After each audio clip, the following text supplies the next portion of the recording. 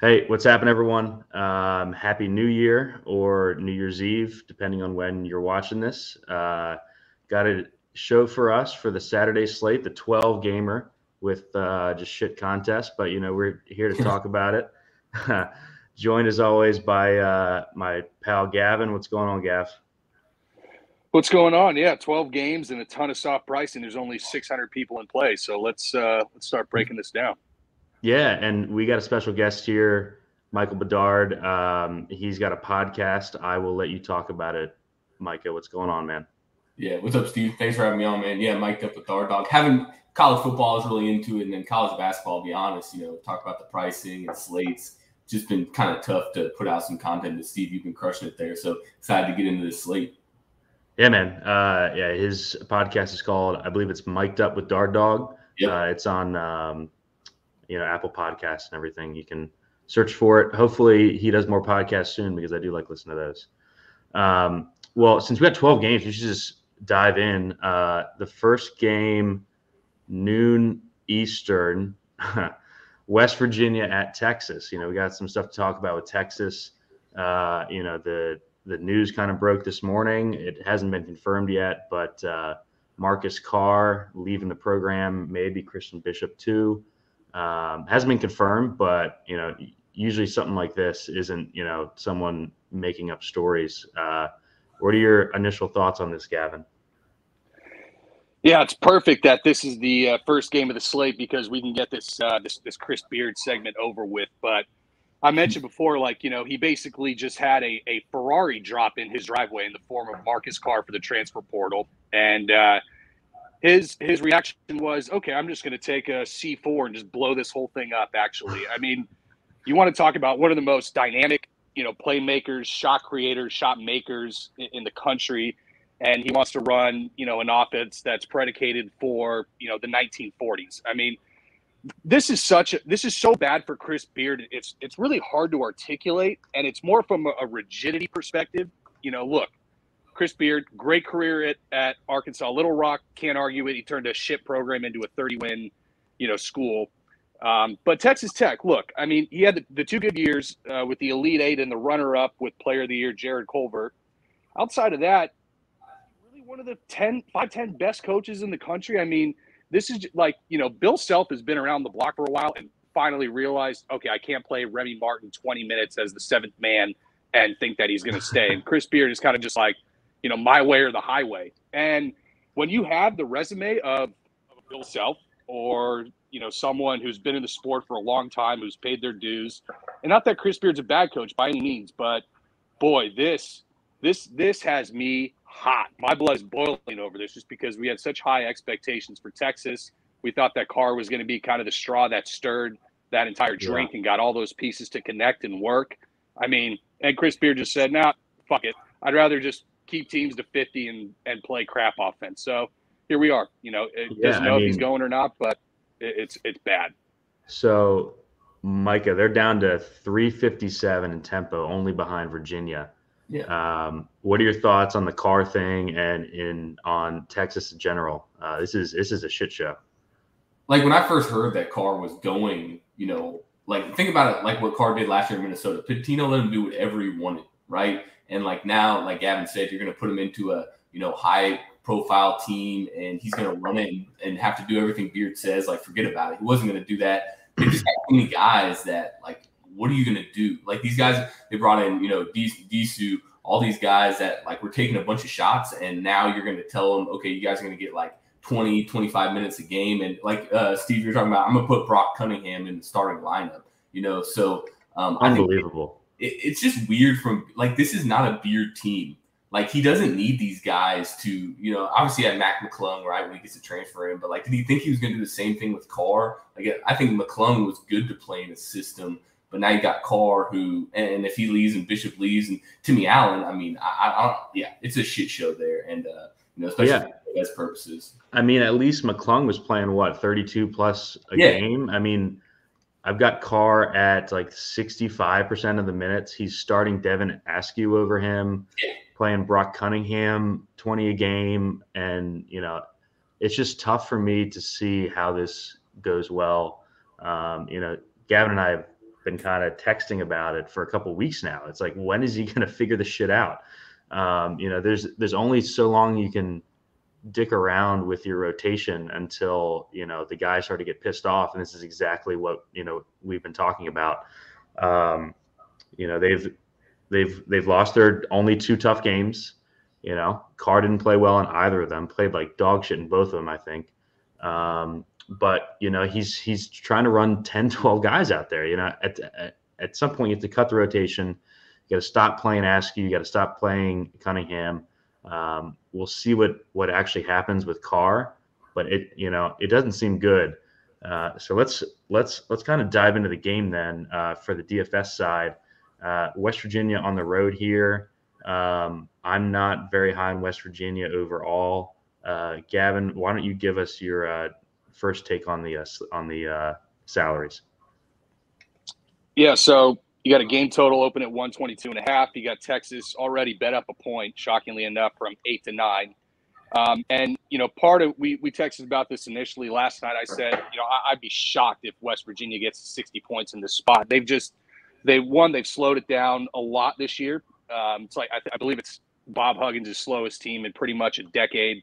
They're pretty much reliant on Taz Sherman and Sean McNeil to make you know most of their baskets. The they don't really get many easy shots around the rim, just with Jalen Bridges and Gabe Osabuohien being uh, kind of more defensive guys.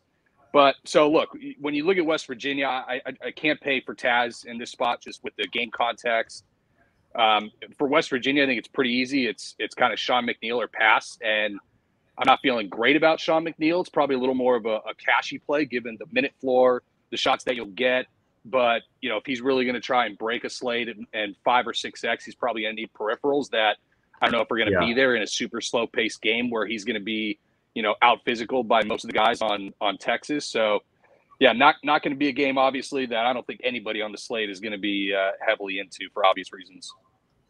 Yeah, uh, for me, I don't think I'll probably have anyone from this game on either side. Like Gavin said, this is going to be a a rock fight. Uh, there's some questions with Texas. Uh, Micah, what do you think about this game? Any plays for you on either side? And uh, talk about the Texas rotation a bit, will you?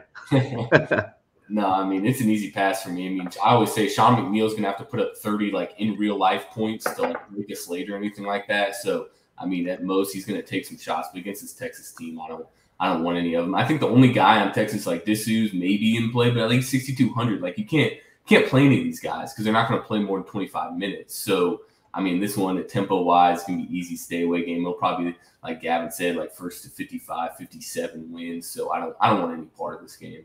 Yeah. Yeah. Wait till you see what the other, real quick, Steve, wait till you see what the six to seven K forward range looks like. And uh, you'll quickly realize why it's going to be really hard to play Disu. Probably yeah. impossible to play him in a one lineup scenario. You're probably not getting to him until you're 10 or 20 max. But yeah, it's it, it's a it's a loaded kind of area of the cards or, or of the uh, slate in terms of that okay, middle cool. price forward. Well, we can move on to uh, Creighton at Marquette. Uh, Gavin, why don't you give us the lines? And I think you have uh, a thought on a bet on this game too. Yeah, it opened uh, total 145. Open Marquette minus one and a half money has uh, come in on Creighton to the you know extent of a half point um, to where Marquette's you know now minus one, and uh, I have a pretty good idea that I'm probably going to bet Marquette here in the next uh, couple hours. I don't know why I haven't yet. Probably because just the the first you know half point move was their way, but you know you got Creighton coming off a Villanova 20 point drubbing back on the 17th, so they haven't played in two weeks. A young team going on uh, for their second true road game, which their first one was at Nebraska, which, while a relatively hostile environment given the kind of geographic proximity, is not a team that you're really you know worried about playing at home by any means. Uh, a young team that's probably been patted on the back a ton the last two weeks for kind of what they've they've pulled off, beating BYU, kind of losing late to ASU, but uh, you know then then obviously the Nova drubbing. Um, Marquette's had a horrible five game stretch coming in here in, in terms of just strength of schedule. Like they lost at Wisconsin by 13. They barely edge out K State on the road by one. They lose at home to UCLA. They lose at Xavier by nine, where they were challenging them pillar to post in Cintas, um, and then lose to UConn. Yeah, you know, so That is, and they had it close against UConn with about three, four minutes left as well, and then UConn kind of pulled it out late. But you know, they got a 10 day rest here. Is this kind of the circle the wagon spot finally? You know, Marquette has the 17 toughest strength of schedule. Um, and look, they're eighth in tempo with, you know, Creighton not only 259th in allowing turnovers versus the Marquette Shaka press at home, but also 324th in non steal turnover percentage, which is basically yeah. a measure of unforced errors and that really is a, is a big you know flashing red light to me. Um, I think it's a very typical buy low, uh, sell high spot, and you know I think with anything within kind of two to two and a half, probably within a possession, I feel comfortable betting Marquette here. Yeah, I'm with you. I think I'm going to bet Marquette. I think it's a good spot. Um, what do you think of the game overall, Micah? And let's start to dive into the plays on the uh, Creighton side because it looks like the pricing's pretty good, actually on both sides. Yeah, Creighton never like these two teams. Like I mean, Gavin mentioned like pricing wise. I mean, Justin Lewis is probably my favorite play from this game. I think he's really like I don't remember him being as multifaceted as he was last year. Like, looks like he's gotten a little uh, skinnier from last year and more athletic. So I really like him as a play. Creighton's just tough because they're all kind of priced in the you know range where I'd want to play him, but you never know who's gonna you know break out there. Like I'm I'm here there on Nembhard. I think he's a little out of control. I think he'll be good in a couple years at Creighton, like at the point. Um, so I probably play Justin Lewis from Marquette's side. I think I, I like him as a play. Now Creighton, Nembhard, um, Alex O'Connell. Uh, it's funny, Alex O'Connell like didn't play at all last year, and then all of a sudden, like he gets this year and he's playing like 30. I know he's playing a ton of minutes. Yeah, he's playing 30, 35, and like I forgot he was on Creighton last year, and uh, all of a sudden he came in there. So I, high tempo game. I, I'm with Gavin. You know, in terms of what Shaka's kind of done this year and got them playing a different style. I don't feel good about playing Tyler Kolek, um, but I think he's decently in play. I think this is going to be one of the fastest games of the slate. So um, I think you could play multiple players from each side, but Justin Lewis is probably my favorite play. Yeah, I think this is a good uh, like tournament game stack game uh, yeah. for sure. We get good pricing on both sides. Lewis under seven K, you know, that's that's almost a just a snap call play yeah. for me. Uh, besides that, on the Marquette side, you said Kolek. I'm not a, you know, I would I would rather find a 700 for Lewis personally. Yeah, exactly. That's um, yeah. I played. You played Kolek when Morsell was out, and you got to capitalize on Kolek's kind of peripheral yeah. rates, buoying his score when he got a little bit more usage as well. And Morsell was out against UConn, so again, that was last game. I think this goes back to the ultimate buy low, but you know, yeah, I'm probably paying for Morsell in this case over Kolek, just given kind of his his role in the offense and what he means to that team. Yeah, I do like the uh, Cam Jones kid too. Uh, probably tournament only just because he he's a sh- shot only guy, but you know he's still under 4K. Going to give you what 25 to 30 minutes in this one probably. Um, on the Creighton side, I think, man, I think like Gavin said, we're probably going to bet Marquette. I I I kind of have an uneasy feeling about Creighton coming into this game. You know, I think they could get beat pretty pretty good here. Um, I'm never playing O'Connell, even though he's going to project well. Um, Gavin, you're a you're a baby Nembhard fan. Uh, he's yeah, he's more good. cash than GPP. He doesn't have the ceiling to blow off the slate, but you know he's probably going to get there. Yeah, he'll be good for what 22 to 26. You know? the only uh, thing I'm worried about this game too is the COVID layoff, which I wish we didn't have to yeah remember this year, but like last year was a real thing. So I think what Creighton hasn't played in about 10, 11 days maybe, and yeah. so that is one thing to look at from this game, just from a rust perspective. But I'm not going to put too much weight into it, but it is something that is yeah mentioned. That's a that's a great point to bring up. I mean, with COVID, the teams that have already played, we already have a pretty good idea who's in and out. Keep in mind, these teams that haven't played in two weeks, which are looks like about half the slate, we're, yeah, we, we're no not, we might not have any idea what's going on with them until you know an hour or our lovely college basketball reporting two minutes after at all. You know? after a tip, right? Uh, yeah. Well, that that that kind of dove, dovetails nicely into the next game here, which is uh, Memphis. Oh, we, real quick, real quick, we, we have to mention Kalkbrenner, dude. I mean, okay, Kalkbrenner yeah. is is having a phenomenal year, and I think he is one of the three to four guys that you have to consider. Uh, uh, I guess five, including Justin Lewis, in that you know mid six K ish range. Um, kind of funny, you know, per per EvanMiya. I mean, Kalkbrenner is 19th in the nation in MVP score and wow. seventh in what what's called an indispensability rating. So you imagine if if he's removed from the floor, the biggest net difference in team performance. And now it's a lot buoyed on his his defensive prowess, but you yeah. know, on that indispensability rating, he's in front of EJ Liddell, Drew Timme, Kendrick Davis, Oscar Tshiebwe, Ochai Agbaji. Like he's been extremely wow. useful this year, getting extended run now that he's got all five of those 12 year seniors gone from last year. yeah, I think if he plays 30 minutes here, he could definitely crush at six five. And he's got the rebound, you know, the block rate that can I can really. uh I don't really worry about Kur Kuath either. Yeah, he's sure yeah. he's good, but I. I yeah, enough yeah, to yeah. stop so, Kalkbrenner. I don't know. Actually, I think uh Kalk's probably my favorite play on Creighton if I was going there. Yeah, um, yeah. yeah. Hawkins has this. Hawkins has that crazy ceiling though, man. So he's got to be in consideration as well. Yeah, Hawkins at seven two. I think I'd probably play uh, Kalkbrenner six five before Hawkins, but man, uh, so yeah, so there's a bunch of guys in play there. Uh, not sure anyone besides Lewis for me on like a main team, but just an awesome, awesome tournament game stack game. Um, going in to the next one, this is probably a, a, a terrible game stack game uh, with Memphis, who's been at the forefront of the COVID issues. Looks like they're getting a bunch of guys back though. Um, not sure that matters for me. Memphis on a 12 game slate, personally for me, is going to be just a total X out. Uh, you know, doesn't seem like he wants to really cut down the. You know, he's he started the to cut down the rotation in that Bama game, uh, but you know, um, I don't know. I'll I'll let you talk about Memphis here, uh, Micah. What do you think? Like, how can a team that has Larry Brown, like, what does Larry Brown do at Memphis? That's my question. Like, how does he even stick around?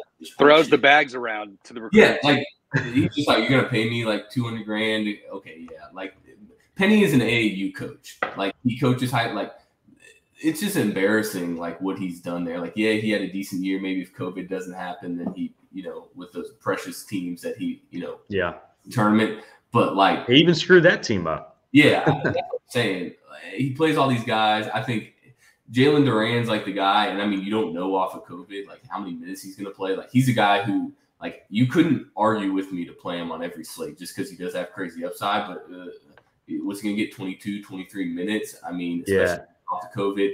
I mean, they're a stay away from you too. Like, you, I don't care though if you don't have DeAndre Williams, you don't have Jalen Duren, you can't go into Tulane and lose that game. No. And like they're just in shambles, and uh, I don't know how much longer you put it. And this is tough. It's just like John Thompson III at Georgetown got like five years longer than he should have, just because you can't fire guys like him. And I mean, yeah. he's a different. Like he's not on Penny status. A lot easier to fire Penny but um, it's still tough. Like he's he is Penny, but this team, just from a DFS perspective, is just you know not there. And then um, you know on the Wichita side, Tyson Etienne. I didn't even look at it price yet to see where he's at. But I mean, ETN still at four eight. Take take a wild guess. He's the same freaking price that DraftKings has had him on the last nine slates, and he takes 14 shots a game. And it's just another one of these. Like, hello.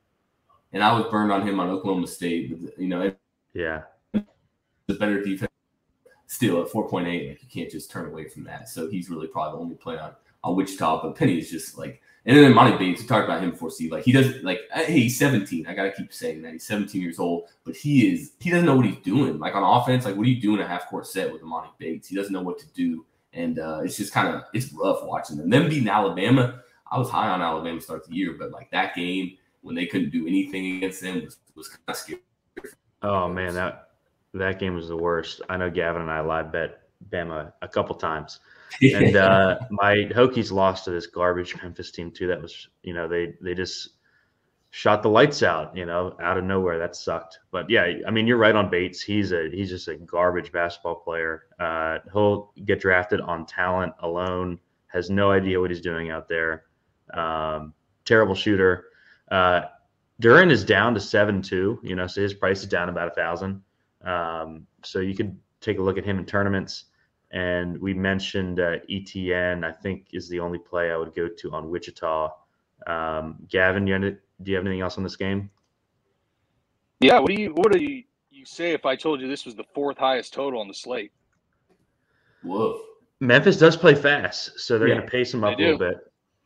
They do. Now, yeah. the the last thing I heard, word for word, was that DeAndre, Duren, and Bates may be game time decisions. Yeah, that's what I saw. To me, that sounds like they're relative long shots to play. So we at least have to address what the last game looked like without them. And boy, it revolved around Alex Lomax, Earl Timberlake, Landers Nolley, and then Quinones.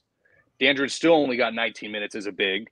Um, but we have to keep that in mind. Like, uh, who really carried the usage was Timberlake, Landers Nolley, and Dandridge when they were in.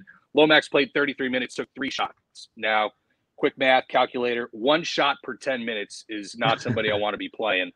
If if those guys are back, all three are back, then it's pretty much I think it just takes everybody out of one lineup consideration. Yeah. If if they if they don't play, I think I'm kind of interested in Landers Nolley to an extent. Landers at Five K, yeah. To an extent, yeah, and and I almost think that you're playing him as a pivot to potentially ETN, who, if those three guys don't play, he very well could equal ETN shot volume with way more peripheral upside, in my opinion. So just just kind of one of those things you got to keep an eye on. I don't think I'm playing Earl Timberlake at four two, even if all three are out. Yeah. Uh, good thing is this is this is in that first window of locks, so we should know before the slate locks who's who's in and out. I am seeing that those three guys traveled, Gavin. Um, so and practice as well. And they practiced. So now keep in mind, in, this, it's this a total stay is, away. This line has already gone from Wichita State plus one and a half to Wichita State minus one and a half, and looks like they're going to minus two. Yeah. Okay. Well, let's uh let's move on to Baylor, Iowa State, which I think is gonna be a good game. Um, what do you got for the uh, spread and the totals there, Gavin? 132 and a half total. Um, I think third worst on the slate behind the the two rock fights. Uh, but we got Baylor favored by seven and a half in uh, at Iowa State in Hilton. Yeah, this is uh, it's probably the biggest home game for Iowa State in I don't know ten years or so. feels like uh, you know both undefeated teams. This is you know uh, a lot of people are um, saying that Iowa State isn't you know real. I think they've you know I think they're pretty good. I you know they're they're clearly not you know like a top 20 team, but what's impressed me with them is their defense. I, I think they're like sixth or seventh in um, effective field goal percentage defense Seven, on uh, KenPom. They're sixth, yeah. Um, yeah, I mean they're the, they've held their last what one, two, three, four, five, six out of the last seven opponents under 60. Baylor is going to pace them up a bit and score. Uh, KenPom's got this Baylor 69 62. Um, yeah, I I actually don't know what to make of this game as as far as the betting angle. Um, I basically bet Baylor every game, and just I'm just daring them to not cover at this point. Um, Micah, why don't you tell us a little bit about the DFS side? Baylor's tough just because they got so many guys that are good. They kind of eat at each other, I think. Yeah, and this is what DraftKings does. It's like all Baylor guys are out. out like Quinones got to be the highest price player on the slate, almost eight point six, and I don't think you can play him here. Iowa State's a pretty good defensive team. They're not. You think of Iowa State, you think of fast paced run and shoot like with Steve Prohm um, before, but yeah, they're pretty slow playing team. I think you know I like Otzelberger what he's done there.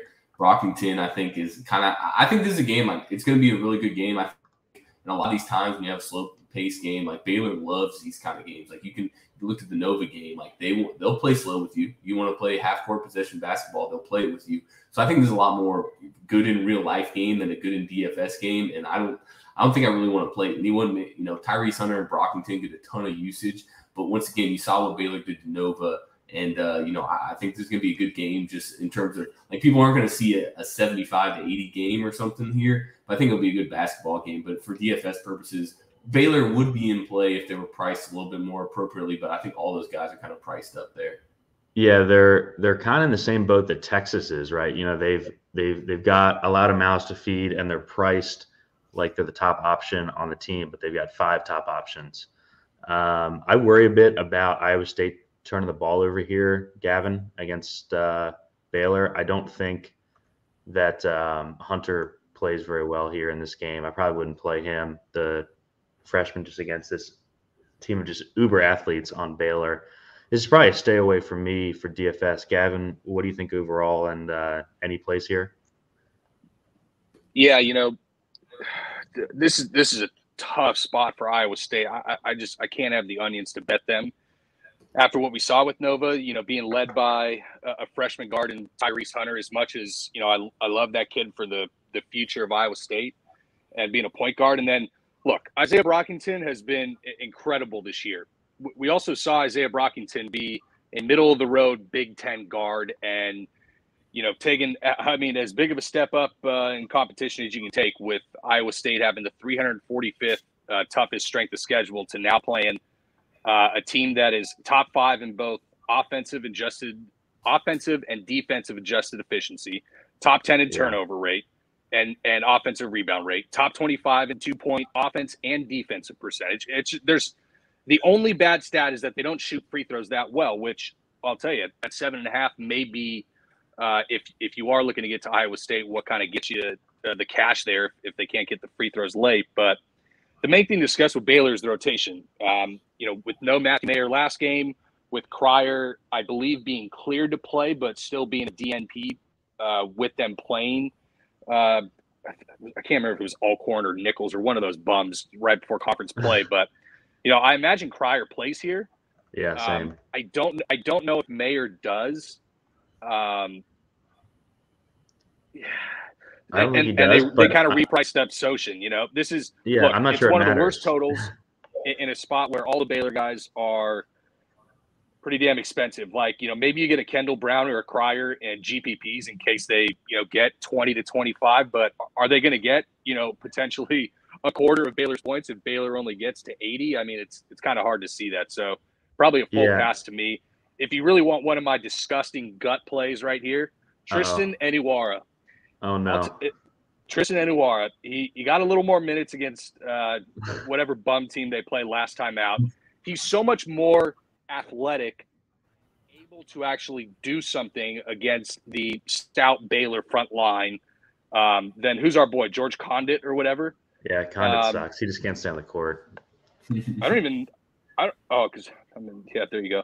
Yeah, because Conditt. I mean, but Anywar at least gives him a chance to to defend inside and have some athleticism and some switchability. So we'll yeah. see. That's about all I got from this game. Yeah, I I just see this game being like Baylor 70, Iowa State like 55 or something like that. Um, no plays for me on on either side. I agree with Mike that you know the prices are just too high for the uh, for the Baylor studs. Uh, let's let's move on to Nova Seton Hall This is a spot where if Seton Hall is healthy, I would definitely bet them, but they got some COVID issues going on. We saw that really impact them the Providence game. What was that, Wednesday or Tuesday? Yeah. Uh, they just, you know, they had to play four guys like 38 minutes and they just got tired at, at the end of that game. You saw um, Yetna got us the double double at surprisingly low ownership to me. Uh, I thought he was a lock and load on that slate. Uh, I would project him for what 36, 38 minutes here, Gavin. Um, you have to. He's got to be one of the highest minute four guys on the slate, barring fouls. I think Yetna is an awesome play at six two. Nova, man, they they're they they play slow, but their defense has not been up to snuff this year with that JRE in there. Um, Micah, why don't you take this first since I'm kind of rambling here on Seton Hall? Yeah, I mean, you talk about Nova, they're just, you know, you got exposed against Baylor. They don't have like as good as Justin Moore is. I'm a I'm a Justin Moore stand for sure. Like last year, I played him anytime I could, but he's just not one of those guys that necessarily creates his own shot. He's good at coming off screens. Isn't Your go-to scorer, so like they've kind of struggled this year. It's not your typical Nova team. They really missed a, uh, Robinson Earl from last year. Uh, Eric Dixon is kind of a sneaky peer not necessarily sneaky because he's 5.3. He's not like a dumpster diver cheap play. He's had a good last couple games. He's another guy that just needs to stay on the floor. Um, so I don't mind Eric Dixon here. And uh, you mentioned on the Seton Hall side, you know, Jared Rhoden. Also, I was before I was looking earlier, you know, and I was pretty sure it was maybe two, three years at least. Bryce Aiken's been playing since 2017. Like Bryce Aiken can stay healthy. is the he has been the Perry Ellis, but I think the same thing at 3.7K, he's going to get a bunch of minutes here too. Um, and, and, Nova is not their you know best defensive team, so um, I think this will be a good game. I think this is a CBS game actually. And uh, you know, on the Villanova side, I think really the only guys you can consider are the high price guys. But like seven six and seven seven for Moore, like seven seven for Moore. Like I played him all the time last year. He's like fifty eight hundred or so. Like yeah. it just he doesn't put up peripherals. He's gonna like they have great They'll put up twenty points him and Gillespie, but like I don't see much of a ceiling from anyone on Nova. And then you mentioned Yetna. Um, it just depends. This is another game I think to kind of see who's going to play, maybe because I think there's a pretty quick turnaround for them uh, to come back, yeah. especially if they're short staff. So um, I, th- I definitely think Yetna, Aiken, and Rhoden on the Seton Hall side.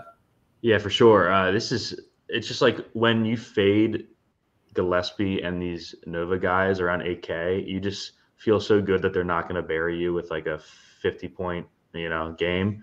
Uh, so I'm fine fading that. This is a, is a tough spot. I mean, Seton Hall got a little bit embarrassed against Providence. They're coming home. You know, they don't have Ike and Gavin. Who else was out? Was it uh, Samuel? Ty- yeah, uh, Tyrese Samuel as well. Yeah, I mean, this is just a tough spot for Nova. If Seton Hall was healthy, I would definitely bet Seton Hall here. Um, DFS wise, I think it's Aiken and Yetna and pass for me. What do you think, Gavin? Before we move on to the next game. Yeah, you know, first you know, they don't say embarrassed. Come on, they were shorthanded against Providence, and and they made it a five point loss because they outscored them 24-16 in the last ten yeah. minutes. But they were down Willard's like twelve. Pretty, pretty late. Kevin Willard's game. been pretty vocal about just how upset he is about the Big East and the the ten day not moving to five days, and which leads me to believe that he probably wouldn't have his panties in a wad if he was only missing those guys for one game, even though, you know, sure, you don't want to miss them for that one game.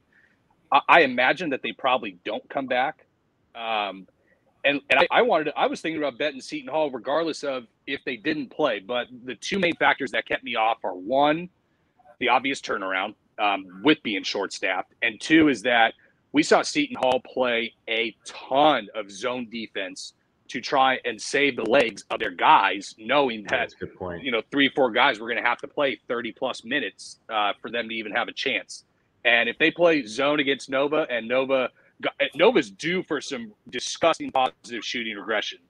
And yeah. if they're playing against a team that's playing zone and you're holding a Seton Hall ticket, you you could be dead four minutes into that game.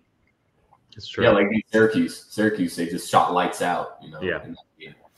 Yeah, I mean, Nova's if they play zone, they're going to shoot 40, 50 threes in this game and hit 20 to 25 of them. Um, yeah, I don't know. It's a weird spot for me. Let's uh let's move on to Providence DePaul. Uh, Gavin, why don't you take this one first? I know that you. Uh, I think you're on the DePaul side here.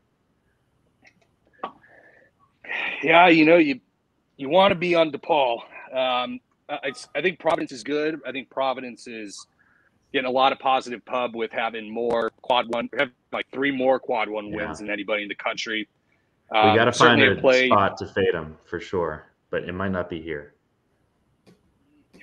Yeah, DePaul without David Jones, and, and keep in mind, you yeah. know, David Jones is is six six. He's not he's not a, a, true big because they do have surprisingly a, a, respectable collection of of big men and kind of what Nick on Ongenda turned into on the defensive end.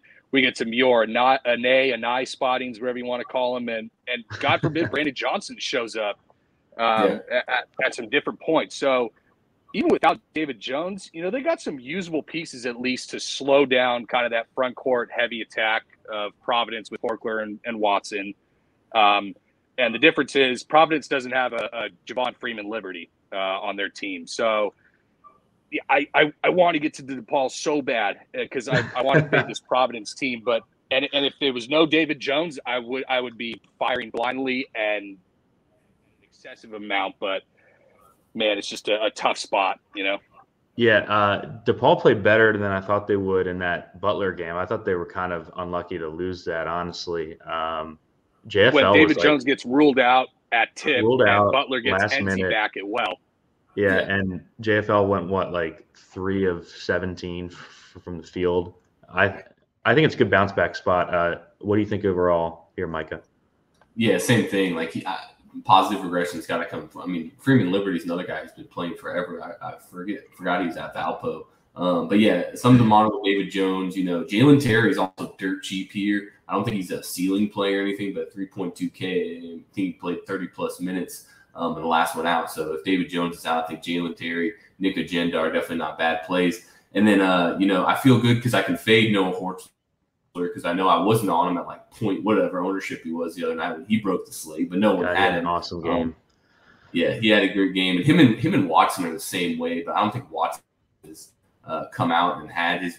Both those guys are only ones I would consider in their deep GPP plays just because they can. Like Yeah. the other night, out of nowhere, put up just a you know a 28 and 18 game or something crazy like that. So the Paul side, something to monitor. I think there's a ton of value there. Um, you play Freeman Liberty, and you can play him with Johnson, who played well, like I said, with David Jones out the other night. But um, definitely on that side, Nick Ongenda, I think, is going to be pretty cheap here too. So if Jones doesn't go, I think I think you can play some guys from the DePaul side and then Providence. I'd only play, you know, I don't want to play any of the guards. It'd just be Watson or Horchler. And like I said, I can I can feel good about not playing Horchler since he nuked the slate the other night.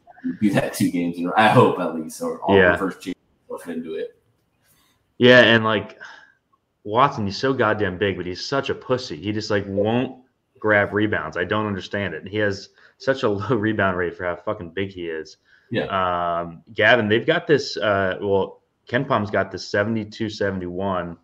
Um, I'm with Micah here. I think there's a couple plays on DePaul. If Jones is out, I agree with Terry. You know, he'll, he'll probably play what, you know, 28 to 32 minutes here at 3.2. That's a that's going to be real good value there, and uh, they're going to need um, Ongenda here. You know, to to play 25 plus. He's been really good defensively, Gavin. Uh, I think they just need him on the court with how Providence, you know, just like their lineup is pretty big. I, I just think they're going to need him. Uh, and then JFL as a spend up is going to project well, uh, you know, playing the entire game. Just a massive bounce back spot for him after he played like dog shit against uh, Butler. Uh, any last words here, Gavin, before we move on? Nope. I think you guys uh, hit it pretty much. I don't know. I don't know if I'm going to get to Ongenda. We'll see. Horchler's is probably the fifth of those mid uh, six to seven K price forwards that I'm considering. And it's crazy to think because I don't think I played Horchler once in the last two years, and and literally No. I feel like every time he gets on the slate, he just shits on my chest. But um, Paul, I never get the Paul Beeman right. I know. Like it's I never tough, get man. Like last, This last is- year, I, I, swapped, I swapped Polycap. I think they were playing Marquette. I swapped Polycap out for uh, Justin Lewis. I forget who the big got ruled out. And like, if I would have left Polycap in, like I would have won everything. And then of course, Justin Lewis gets like two fouls, four minutes in, and it's Yeah. brutal. Ongenda, Ongenda feels like he either double doubles or he fouls out in 11 minutes here. Yeah. Yeah, you know, it's a tough matchup for him with Watson. I could see him easily fouling himself out. And it is a 12 game 30 slate. block rate, so- but Yeah, so let's move on. We got uh, our next game here is um, on the DK. It's Florida State and NC State. We haven't seen Florida State in a while. Uh, classic tilt box, Leonard Hamilton, uh, Gavin. What are the particulars on this game here for you? Well, we got a total of 141. You know, we know that NC State's going to their their tempo rate isn't as quick as you would think, but they play some high scoring games just with how inefficient their defense is and how efficient their offense is. So, 141 total. FSU laying two and a half uh, at NC State. Yeah, NC State's given up 80 plus in four straight. Micah, um, what do you think about this Florida State rotation? I feel like, man, I, every time Gavin and I talk about this, every time it seems like Hamilton is condensing the rotation, he just bends us over and plays nine guys, 22 minutes apiece. Um, but if he does, I think Mills could be in play here. What do you think? Yeah, I think Mills, is, you know, the Houston transfer is definitely in play. But like you mentioned, it's just like, what is he going to do? Because like I feel like he has the shortest leash of like any coach in the country. What he's going to do on a certain slate. So Mills, if he gets thirty plus minutes, yeah, he'll probably uh, be a definitely good player. It was sneaky the other night. I was looking at it. Like if you put like stack the NC State Miami game, like you would have won everything on. Wednesday night. That That game was nuts. Um, and I think that's because, like Gavin mentioned, NC State is terribly defensively. So it's a really good matchup. Uh, you know, I only play one guy from FSU. I mean, RayQuan. This is a RayQuan RayQuan Evans breaks a slate game all over it. Not he doesn't. Oh God, well. I hope I hope not. I hope not. I mean, it's just like you pick your poison. I know Anthony Polite's not going to, or Osborne.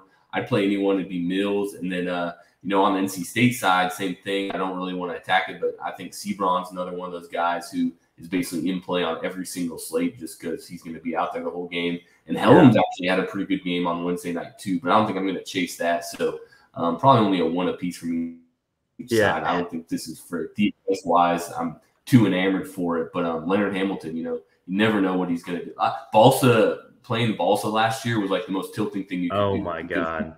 Even if he would crush, like I think against Louisville or something, like he would get on the court and score like six points in three minutes and just get pulled. Like I know.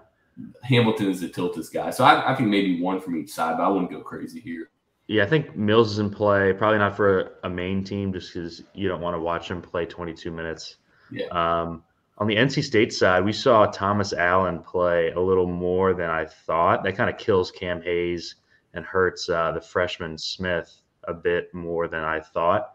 Um, like you said, Hellems is a bit too scoring dependent for me, and especially with a matchup against Florida State, that's tough.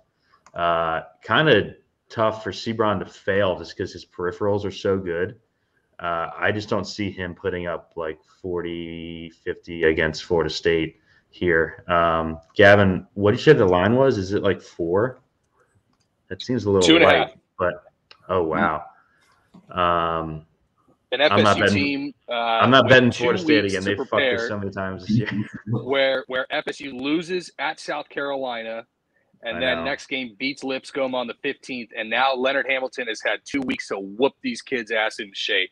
Like They it's the ultimate the spot where shit out of Florida State blows too. them by, blows them out by 25. Like, yeah, oh my I think God. there's a And- better chance that Florida State wins by 20 plus than NC State wins this game. Yeah, he's getting everyone I to tend to play agree. exactly 21 minutes a game from all 12 of his guys. So Oh yeah, it, as Gavin says, you know, uh, if Florida State gets up early, this is uh, Leonard Hamilton's wet dream. You know, just, just playing everyone 21 minutes a game. Yeah. Uh, with that, we will move on. Uh, next game is Mason and Kansas. Uh, Gavin, what do we got on this one? Well, we got Kansas. Feels like the fifth straight time on the slate. They're playing some blind and deaf school, um, and they're a 20 point favorite with the highest team total by a country mile on the slate. Uh, we got a 145 and a half game total. Kansas laying 20 at home to one George Mason. Yeah, I actually think George Mason's pretty good. Um, I'm I might take the plus twenty. Uh, they've they played uh, like Nevada. They played decently well until they fell um, fell apart down the stretch. They they won at Maryland, I think. Um, I think Mason's a decent team, but so Micah on a 12 game slate. How do you, uh, if you do, how are you attacking a uh, a 20 point spread here? yeah, so this is the game I wish they would take off the slate and put uh, Louisiana Tech and Western Kentucky on. Which I mean, it's never going to happen, but like that would I love. Anytime I get Kenny Lofton on a slate, you'll always hear me advocate. Well, you didn't play last night, so you didn't see Kenneth Lofton pick up a foul and get teed up a minute into the game and sit the rest of the half. Yeah. Glad I did not play last night. Then. And I got a text from Gavin. He's like, "This fat fuck is Fallon We attack, 90 seconds in. Hit the bench. on Kenny. attack. Grab Oh some pine." God. Yeah, all right, run that. So see, this is why I'm not playing every slate because Yeah. it happens to me. But we do have some good pricing on the Mason side. Yeah, we, we talked about this one before we came on. Like reason DraftKings, it's not as bad they put this game on the slate, but they have no clue. Like when they have teams that they don't have on there, like Kansas, they're just going to set it and forget it and put all these guys in their same price range, you know, for Kansas. But for George Mason, you've got Davonte Gaines, you know, 3K, Josh Oduro, 3.6K, our buddy D'Shawn Schwartz from uh, Colorado um, at 4.5K. So I think these guys are in play. Um, it's just, I, I, agree. George Mason, Kim English is the coach for George Mason, who has been into uh, you know Phog Allen a couple times as a player in Missouri. So I don't think this team is necessarily intimidated. They they beat Maryland so far this year. So um, I, I agree. I think 20 points with them, even just a backdoor cover or something like that. Yeah, it seems heavy, right? Yeah, I, I think that's a, a, big spread, and then Kansas in this game. You know, maybe a New Year's Eve uh, hangover or something like that. But um, on George Mason's side, I think you can get a ton of value, and uh, with Gaines and Oduro, the three K prices who are going to play. Uh, I mean, Oduro's taking the shots, so I think he's in play. And then Kansas, like this Christian Braun, like what he's doing this year, like I just keep. I don't fade him necessarily. I, like I've been playing. I've been like even on the field. I've been behind the the eight ball. I'd say with him.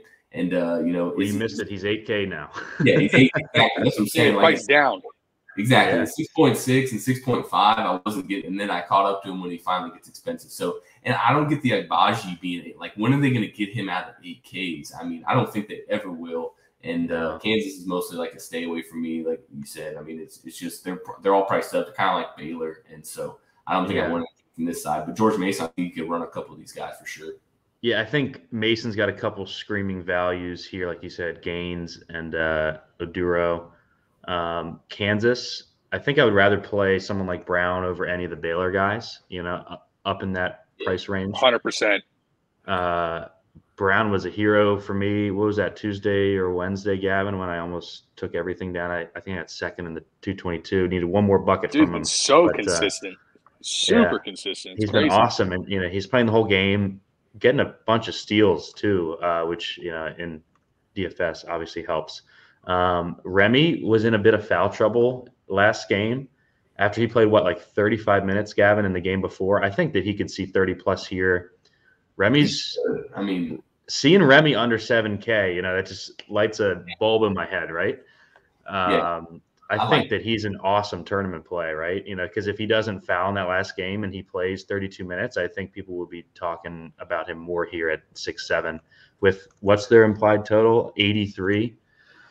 um, it's going to be Braun, it's going to be Agbaji, and it's going to be Remy, right? Um, yeah, especially and if it doesn't game, happen with like if this game doesn't blow out and stays in that like 12 to 17 point range, like the starters for Kansas, which we think it will too. Yeah, and so if you script it like that, like that's how all you have to think of, and then that way, these if you think this game stays semi close, and all those guys on George Mason, like you know, they're just shoe-ins because you think they're going to play most of the game, and I think they will even even so. But Remy, yeah, I think he's kind of learned that kind of the same thing with Marcus Carr. Like he can't do whatever he wants to now. Like he did it, and he's not the best player on his team. Yeah. So I think I think this team, Kansas team, like come in January and like I think depending if they can get if they know what they're going to do with McCormack and he can play consistently and they don't have to oh my god out big Dave freaking Mitch Lightfoot out there for 18 minutes a game. I don't playing, know. They're playing Lightfoot over Jalen Wilson. It's driving me insane. I, I don't know what Jalen I don't know what's going on with Wilson. I know what Jalen Wilson did, but I don't know outside. Yeah. Like Self just hates the guy. Like, and yeah. that's what Self does. Like, if he doesn't like you, like you are not yeah, going to. You're play. done. Yeah. So I mean, you got a Gavin. DUI. You didn't blank your daughter, Bill Self. Just play the guy. Yeah, Know, he was he was so good last year too. It's uh, pretty yeah. annoying. Um, shits on McCormack, Uh, just brutally, miserably American Psycho dismemberment style. uh, with that, we will move on to Virginia at Syracuse. Gavin, what do we got here? Oh yes, one of the rock was this bites. one of the uh, ones second. that didn't have a spread yet? No, this has a spread, but it just doesn't have okay. any game notes from me because uh, it's a 127 total. Um, Syracuse laying uh, have been bet up from minus three to minus four uh, in their home park, 65 and a half implied team total. Ooh, finally, we don't have to play these goddamn guys. Thank God. Yeah, they fucked us the other night. God damn it. Oh, Joe, Joe Girard. Yeah. Oh, I can never get him right. Never. Um, Micah, do you see anything DFS wise in this game? Nah. Um, Reece Beekman, it's funny to see him play. I used to, because I went to LSU, I used to ref, he's from Baton Rouge. I used to ref him when he played like bitty ball. Like, oh, really?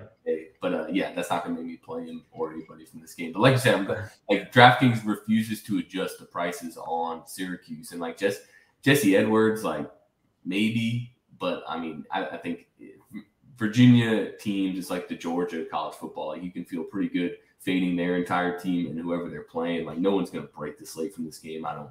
I don't really think so. I'm, I'm yeah, I mean, on a 12 gamer, are you really going to play someone in the Virginia game? I don't know. I think you can maybe play Edwards.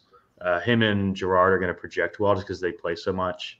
Um, 50 piece incoming. and then uh, Armaan Franklin's down under 5K. I think you could, you know, if you if you wanted to get a piece from Virginia, I think he's the best play from Virginia just because he's under 5K now. He's going to play 30. Uh, but I'm probably not going to play anyone from this game on a 12 gamer. Let's just move on to uh, Wake at Miami. Wake has been awesome. Uh, I was bummed to see them drop that game at Louisville. I thought they probably should have won. Um, Gavin, what do we got here? This is a this is going to be a juicy one for DFS.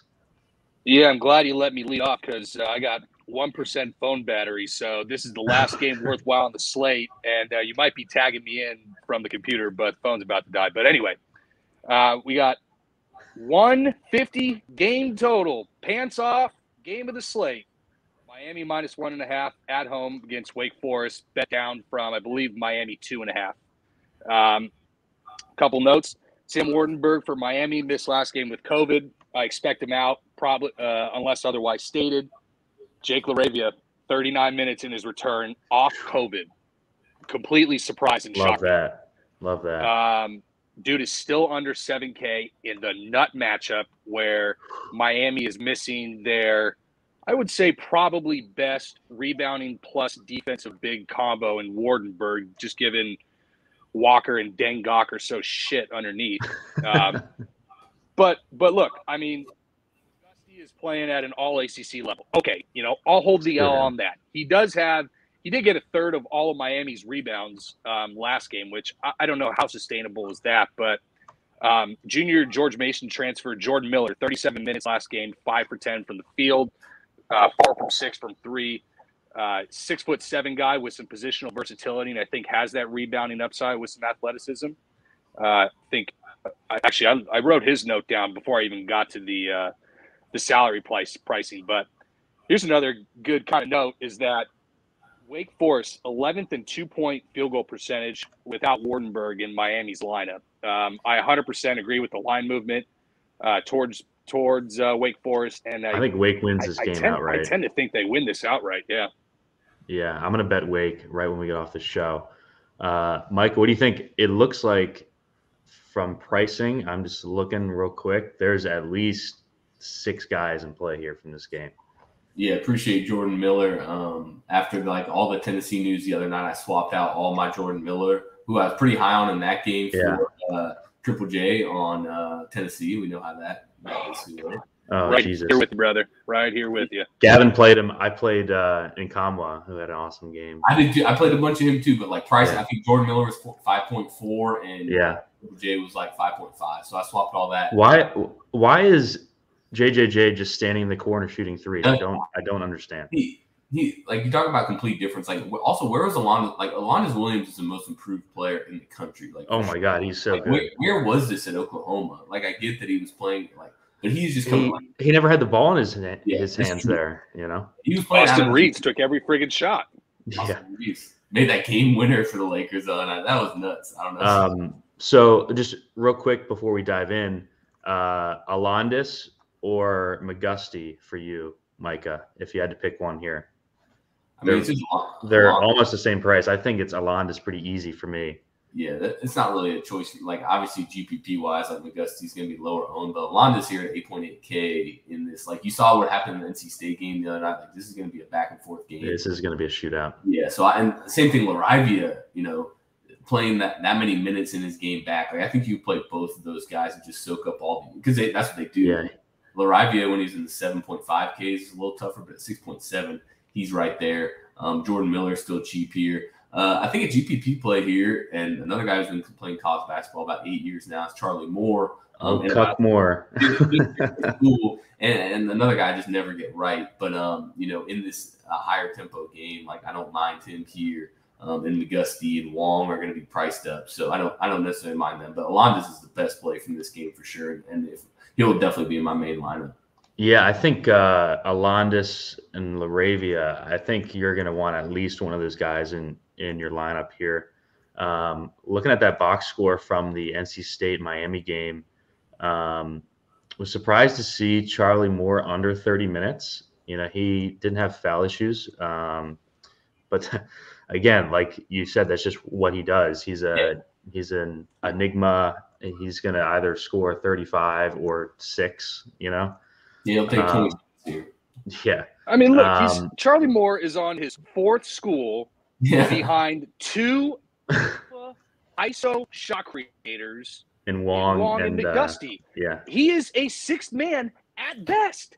At best, a sixth I man think, on this team. He he's going to be hitting the portal right behind Marcus. Yeah, I think Jordan Miller is the play here from Miami. Um, if you had to pick one for me, do you guys agree? I have faith in Anthony Walker. You love that guy. He's going to play 20 minutes. He what did he do? Minutes. Uh, he didn't play. He didn't play. Uh, he played 90 seconds in the first half. State because of fouls. He plays. he played almost the entire second half. he played that. the entire second half, and he puts up 22 points. He four x. Oh man, I have faith. I don't want to hear. All right, all right, all right. He's he's definitely in play because the game's so good, right? Anyone that's going to see over 20 minutes in this game's in play. Excuse me. um, all right, so we got five plus guys in play there. Let's move on. K State at Oklahoma. We haven't seen Oklahoma in a while, Gavin. Yeah, for uh, for good reason. We got a uh, 128 and a half game total. We got Oklahoma minus eight and a half here. The uh, I guess the third worst game on the slate. Kind of what we're going to see is a, a rock fight. You know, Porter Moser versus kind of the guard center Kansas State. The, I I don't know if I would use other people's money on playing these guys in DFS. Michael, what do you think? Yeah, like Oklahoma is priced up for some, like they're always priced up. None of these guys are like dirt cheap. Jordan Goldwire, you know, I, I almost forgot before the season started that he was here. But uh, that's why like college basketball for me is so fun because like Marquise, Markquis Nowell is like my, one of my favorite players in college basketball. Like when you saw, I think they were playing Marquette earlier this year. This dude was like yeah, Chucky from the logo, and yeah. uh, you know, but in this game against Oklahoma, like you know, maybe I have a couple GPP shares, but I think this game is mostly a stay away game. The only thing that makes me want to play, and once again, I hate that we have to remember, like these West Coast games are getting canceled all the time. So um, there is yeah these later games. Yeah, so like Oregon and Utah, that late game, like I always like to play someone from the late game, but it doesn't matter if it's like this this game necessarily. Porter Moser and down Oklahoma. So Markquis Nowell is like a G, he's always a GPP play because he's going to chuck up about 15 shots a game, but I think you can find better matchups than uh, than him against Oklahoma. And Oklahoma, I mean, I don't I don't want anyone from their side. Yeah, I agree. I think you could play um, him or Nigel Pack in a tournament. You know, uh, on the OU side, I think you could play Gibson. You know, he's right at that 5K. He's going to play almost the whole game. He's just not going to, you know, go for seven X or something. I yeah, I think he's a good play. You know, yeah. he's, he's a safe play, let's say. Yeah. Uh, but you know the game's not great. Um, so we'll move on to the last one here, and you touched on something that I was going to bring up. Uh, I'm just effing terrified of any Pac-12 game right now. These are getting canceled left and right. Gavin, um, what do you think? And uh, do we have a line yet on this game?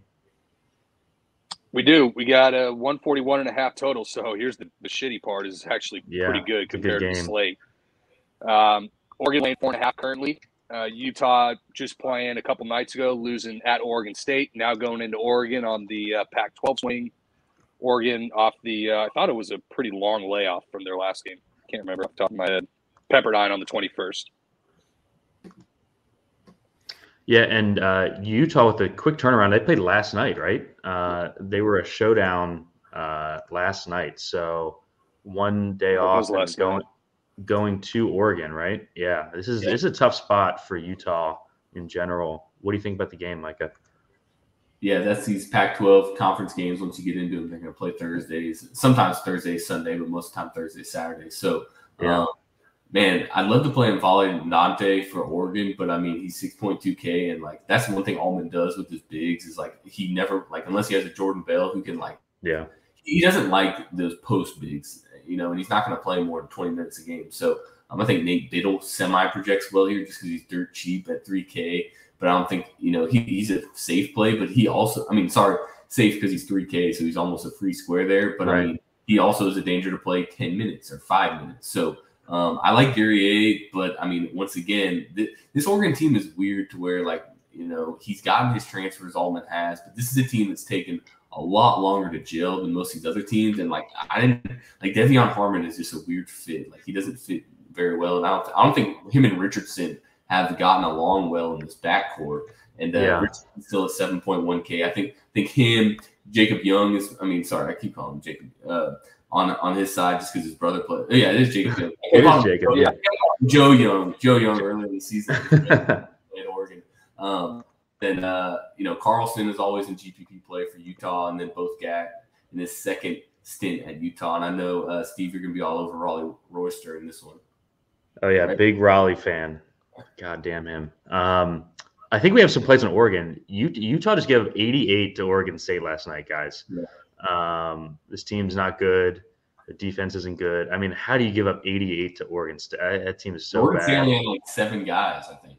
I know. Um, so Carlson fouled out last night in 24 minutes. I think he sees around 30 here if he doesn't foul. Um, kind of weird, you know. They played Anthony, Raleigh, and both got uh, t- like 25 to 27 minutes. Gavin, they kind of they've been expanding their rotation a bit, which scares me. I think I would rather play guys on the Oregon side here. Just a tough spot for me to get to anyone on Utah. Um, st- staring at 6K uh, Quincy. What do you think? Yeah, it's like any given game, uh, Altman can just shuffle around this forward rotation, you know, at any yeah. at any moment. Um, it's pretty consistent with Richardson, Harmon, Young, you know, playing 30 plus. and here's the crappy thing is that Richardson and Carlson, I mean, are, are pretty well priced for this game. Uh, I'm a I'm higher on the market on Carlson, especially on the DFS side, just given anytime you got a guy with high usage, three point capability, and block upside that the team runs their offense through at sub 7K and a pretty good total, you just have to be interested. Um, but yeah, like you said, I mean, Oregon, you know, one of those uh, God fearing states, and they may just, if if somebody has the sniffles, they may just cancel the game outright. So it's it's just sketchy, but is, those guys are completely in play. This is what two and a half hours after yeah. the last lock, so you're just totally boned if be... something happens. I'm gonna be so hammered by that time.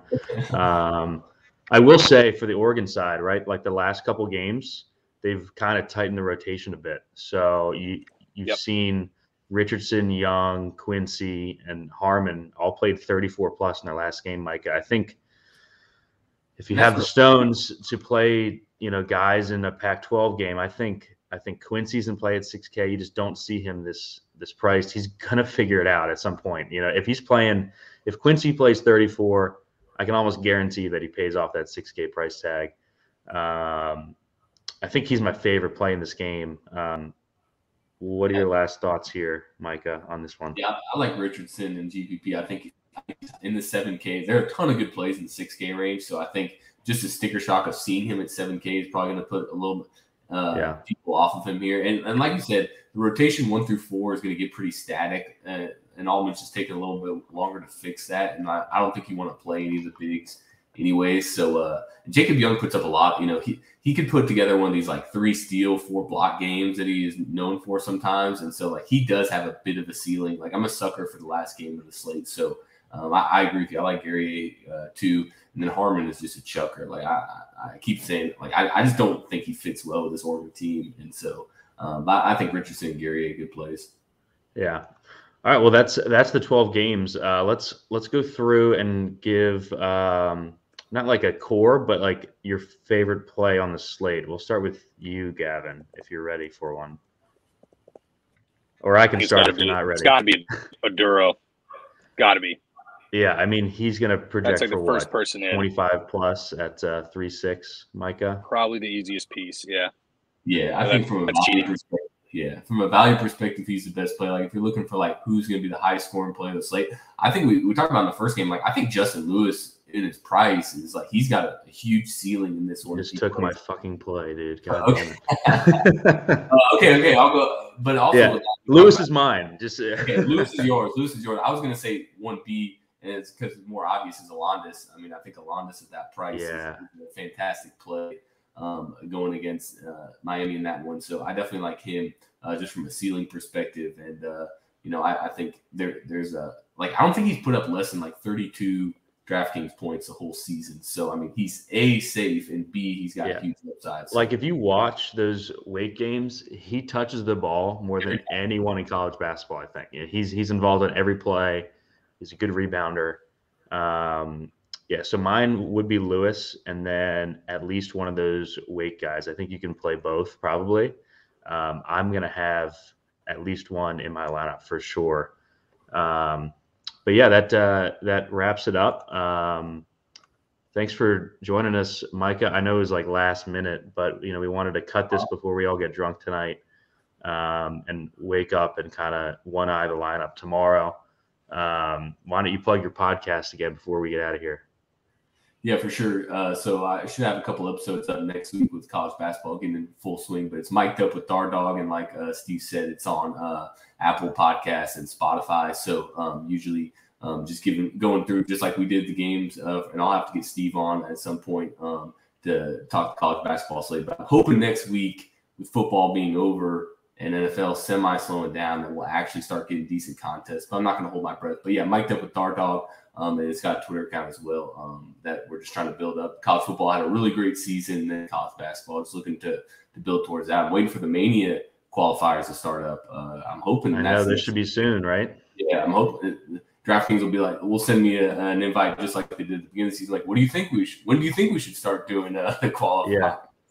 Yeah. Oh man, I, am having PTSD. So I got knocked out of the mania last year by uh freaking Brad Davison's nuke game in the tournament. remember that, Gavin? No that fucking guy. Unbelievable. I'm I'm just like spam texting Gavin. I was like, Brad Davison has 25 points in the first half. What is going on? I, oh yeah, my I God. Turtle knocked me out with. I think he only beat me by like a point and a half, and he had Barcelo this is the last game. I'm like, all right, Barcelo just and he. I think who they played Utah. Utah yeah. saved someone, and like that game was like a 55 to like a low scoring game. Of course, Barcelo is the only. Yeah, Barcelo did well. Yeah. yeah, no. Um, I played a guy who I didn't recognize, and he played like 6.5k Brad Davison in the worst game on the slate, and he put up like 40. He he had that. Gavin, that had to be his highest DFS score of his nine-year career. Oh, He's been God. usable this year. But until, yeah, he has. until that point, yes. Yeah. It, it's weird. He was less usable last year, that's for sure. God damn it. Yeah, it's finally decent after 14 years. Yeah. I can't even watch. I can't even watch him play. I just get pissed off watching watching him come yeah. around post up. He hasn't tried to post up as much this year. Last year, every time down the court, he's like posting up a six five guard. Like, what are you doing? yeah, uh, Gavin. Any final words? And you, do you want to recap what you're looking at bet wise too before we get out of here? Yeah. Uh, I'm betting Wake for sure. The second I get off I this. stay off, the, but I I did bet San Diego State minus two and a half at UNLV. That looks like it's already up to minus three, so you better hurry if you're going to bet that. I did bet Marquette minus one. Screw it, I'm going down with Shaka yeah. at home. So be it if it happens. It's a good spot. But I think that's going to be the spot. And I I want to get to DePaul, but I'm probably going to push out of it. I think uh, it's so horrible, but I think I'm going to. You're not betting DePaul. You're just wait. Um, who? No, I'm probably going to be driving off the cliff with Leonard again at minus two and a half. Oh no! I guess we probably have to. Yeah, I need to no. get some money back from what he's done to me this year, so I might as well, you know, just go all in. I think on Tuesday the at Marquette spot is when Providence loses. By the way, I think that's I think that's the spot to bet them. Um, I will be betting Wake. I'm going to tail Gavin on the other bets for sure Marquette and probably Florida State because you know I'm a masochist. So, um, well, thanks guys. You know we're uh, just over an hour here. Hope everyone has a good New Year. Um, whenever you're listening to this, right now I think Bama's up what 12 or so. We need them to cover. That'd be nice. Um, everyone have a great New Year. Thanks.